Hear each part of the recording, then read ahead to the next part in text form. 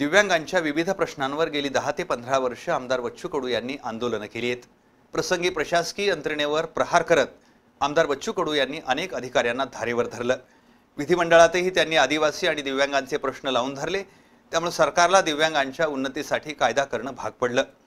पण अजूनही कायद्याची अंमलबजावणी होत नसल्याची खंत बच्चू कडू यांनी व्यक्त केली. दिव्यांगांना कायद्यानुसार जे देणं लागतं ते मिळालंच पाहिजे. अन्यथा कायदा हातात घेऊ असा इशारा त्यांनी पुन्हा एकदा दिलाय. एकूणच एक आक्रमक आणि स्पष्ट वक्ते आमदार म्हणून आमदार बच्चू कडू यांची ओळख आहे. आज त्यांच्याशी बी न्यूजच्या प्रतिनिधींनी केलेली ही बातचीत. दिव्यांगांच्या प्रश्नावर लढा देणारे आमदार बच्चू कडू साहेब आपल्यासोबत आहेत. जाणून घेऊया त्यांच्याकडून. साहेब आतापर्यंत दिव्यांगांच्यावर अन्याय झाले अत्याचार झाले. त्या संदर्भात आपण कडक भूमिका घेतली. प्रशासनाला प्रहार केला प्रशासनावर. अधिकाऱ्यांच्यावर तुमच्याकडून मारहाण झाली. गुन्हे दाखल झाले यापुढेही आपला स्वभाव असा आक्रमक राहणार आहे दिव्यांगांना मदत सातत्यानं होणार आहे काय? नाही खरं तर आम्ही काही जाणीवपूर्वक कुणाला मारत नाही. कायदा जेव्हा खाली पडतं तो हातात घ्यायचा प्रयत्न करतोय. आणि हे दुर्दैव आहे का आम्हाला तिथं आंदोलन करावं लागतं चांगले अधिकारी आहे तिथं आंदोलन करायची गरज पण नसते. पण दिव्यांगाच्या संदर्भात कायद्यानं जे आहे ते जर देत नसेल तर कायदा हातात घेतल्याशिवाय राहणार नाही.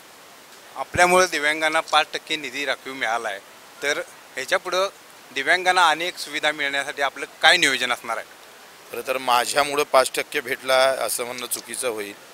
त्या सरकारपर्यंत सामील आहे आणि दिव्यांग बांधवाचं खऱ्या अर्थानं त्याच्याबद्दलची जी काही ताकद आहे ती महत्त्वाची आहे.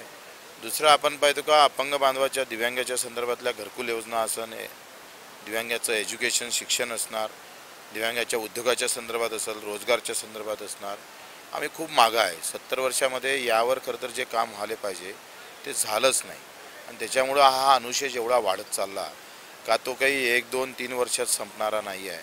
आणि मग त्याच्यासाठी आपण नऊ तारखेला दिल्लीला आंदोलन करतो आहे आणि त्या या सगळ्या विषयावर जसं दोन हजार सोळाचा कायदा आहे त्याच्या जेथपर्यंत शासनाच्या निर्णयामध्ये रूपांतरित होत नाही तेपर्यंत त्या कायद्याची अंमलबजावणी हो होणार नाही. पहिले कायदा नंतर शासन निर्णय आणि शासन निर्णयानंतर योजना. हा जो परिपाठ आहे ह्या करण्यासाठी आता आम्हाला आंदोलन करावं लागतं.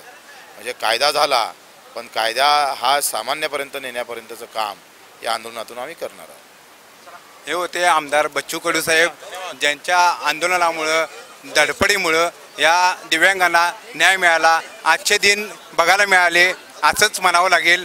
बी न्यूजसाठी कॅमेरामन प्रशांत आयरेकरसह प्रमोद वनगुत्ते.